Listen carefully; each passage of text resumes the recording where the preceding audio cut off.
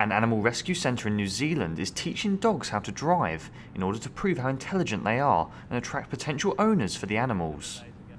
The Society for the Prevention of Cruelty to Animals trained three dogs, named Monty, Porter, and Ginny, to start a car, accelerate, steer, and even change gears.